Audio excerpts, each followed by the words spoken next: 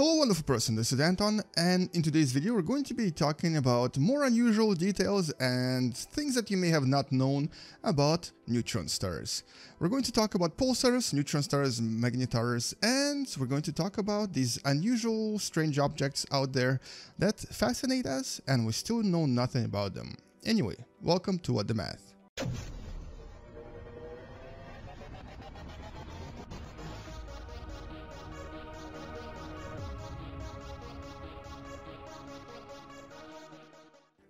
Neutron stars are definitely not something that you think about every day, but they are very, very, very unusual.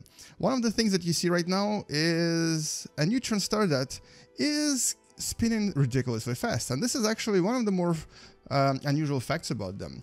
They are pretty big, not super big, but they are pretty big, but they spin so fast that standing on the surface of a neutron star would mean that you might be actually spinning at like a quarter of the speed of light. Yet you would not actually fly away from the surface because on top of having an extremely fast spin, most neutron stars or I guess all neutron stars by definition, are extremely dense and have a ridiculously strong gravitational field. The gravity here is billions and billions of times stronger than it is on the surface of planet Earth. The other thing about them, and we can actually try to land here, although I may have to slow down time dramatically for us to actually not uh, feel too dizzy. The other thing about them is that they're technically not really stars. Okay, yeah, they do uh, produce some kind of heat and radiation, and they do seem to be very warm and hot and unusually uh, star-like in their appearance, and they of course have uh, relativistic effects where they actually bend light that comes close to them, but they are, in terms of structure and uh, in terms of actual physical properties, more planet-like. As a matter of fact, a better word for them would be neutron planets, because their surface is actually crust-like. When it when they get uh, cool enough, less than about a million degrees, they actually are hard on the surface. Yeah, it's super hot still, but they are um, very planet-like.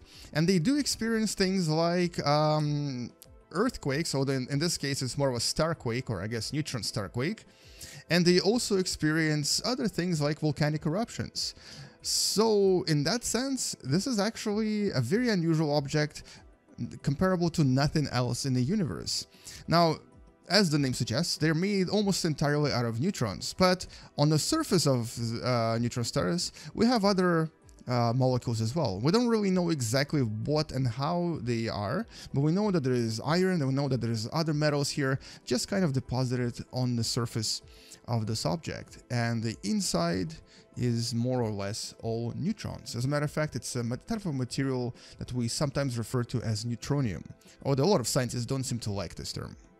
Now there's quite a lot of various neutron stars in Space Engine and I guess other space simulations as well, but this one right here is actually the first confirmed and discovered neutron star that we found back in, um, I believe it was actually the 50s. This is um, the neutron star, also known as Crab Pulsar. And as you can see in Space Engine, it also has a very, very beautiful accretion disk around it. Uh, now, the this neutron star was actually originally observed back in um, 1000 AD by the Chinese astronomers, but they didn't really know what they were looking at. They just saw the supernova. And following the supernova, or I guess the explosion of a very large star, what was left, of course, was this neutron star. This was basically the leftover material that is now kind of pulsating and producing all kinds of radiation that reaches our planet um, Earth. And so this is actually not in real time. This is what it looks like in real time. It spins really, really, really fast. And some neutron stars, uh, also known as pulsars, which is pretty much the same thing, uh, spin so fast that uh, they produce something like 1,000 pulses per second. So basically, a single point on the surface will spin 1,000 times per second, which is ridiculously fast. It's almost the limit of their spin. Yet other neutron stars are actually super highly magnetic. They're all technically magnetic, but some of them are so magnetic that they create the most powerful magnets in the universe. And so we usually refer to those neutron stars as magnetars. They're so magnetically charged, as a matter of fact, that they would probably destroy Earth if it ever came remotely close to our planet. So they're super, super powerful. And one scary thing about these objects is that if you ever came close to one, or I guess if you actually started falling into one, uh, because of the gravitational strength, your fall velocity by the time you reach the neutron star would be close to about a third of the speed of light. So by the time you smack into it, you would probably be destroyed in a nuclear reaction so powerful that nothing would be left of you. As a matter of fact, even your atoms would fall apart. So there's almost no practical way of kind of landing here, even though there are sort of planet-like in structure and formation, and even though they might actually have hard surface on them. And what, what's really interesting is that a lot of scientists even speculated about all sorts of planetary conditions on these objects, including, of course, life. There's even a very famous sci-fi book uh, known as Dragon's Egg that talks about life that formed on a neutron star and that humans communicated with. It's a really cool book. You should definitely check it out. And here's actually the cover of this book if you ever want to try to find it. So this is the book about uh, neutron stars and life on them. A pretty awesome read if you ask me. And because they're so planet-like, they um, have other planetary effects, like for example atmosphere. But the thing about atmosphere on a neutron star is that it's actually very, very, very, very, very, very thin. As a matter of fact, it's less than a foot or less than 30 centimeters in height. Uh, and there are mountains there too, and they're also very tiny, only a few centimeters or a few inches above the ground. So in that sense, neutron stars are actually unusually planet-like. And so technically these can be either classified as star uh, remnants or the most dense and also the smallest stars out there, or you could technically classify them as the densest planetary objects without the actual star. Uh, so we still don't really exactly know how to really put them into this whole star planet equation. Uh, what we do know, however, is that there's about 2,000 of them we've discovered so far in our galaxy, and we think there's uh, approximately 100 million of them in total. There's, there's, quite a lot of these things out there. and But the closest one to us is at a distance of about 500 light years away, so not particularly close. And so don't expect to actually be able to see them with a telescope or anything like that because they are very, very far and they're very difficult to see, especially because they don't really emit visual light as much as they do X-rays and gamma rays. And a typical neutron star, so for example Crab Pulsar, um, is about 1 to 2 masses of the Sun. As a matter of fact, the biggest neutron star we've ever seen is only about 2.01 masses of the Sun, so they're not really that massive. And the stars they were created from were probably about 5 to maybe 10 to maximum 15 masses of the Sun, so they come from like medium-sized stars. And what's interesting is that this mass is basically packed in such a such a tiny uh, radius. So here is Earth for comparison. If I were to place Earth right here and decrease the speed dramatically, you would see that this basically creates an extremely small object next to Earth. So small as a matter of fact that it's about size of a large city.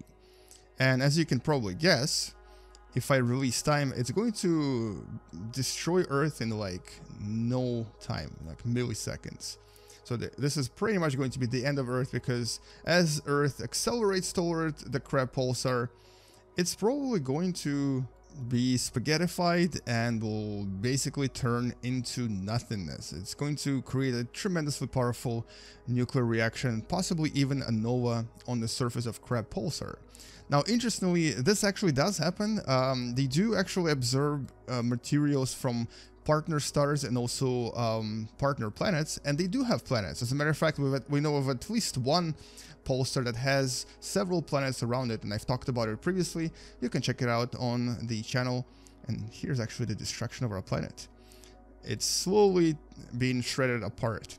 And uh, these objects are so powerful and so dense and so strong that they can strip a star entirely of its matter turning a star into a planet. And so there are cases where actual um, stars were turned into planets because of pulsars and because of neutron stars, which is practically the same thing.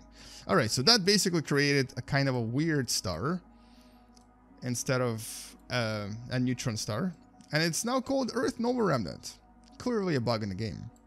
But basically, that's kind of what I wanted to show you. And I wanted to briefly talk about neutron stars and some of the more unusual things you may have not known about them. Uh, if I were to actually go ahead and shoot a neutron star through our solar system, you would probably see that it's actually going to create quite a lot of chaos here. So there is that pulsar that's going to pass through the solar system and it's going to basically, even though it's so tiny, create quite a lot of orbital uh, abnormalities, including, of course, setting our sun on the wrong course.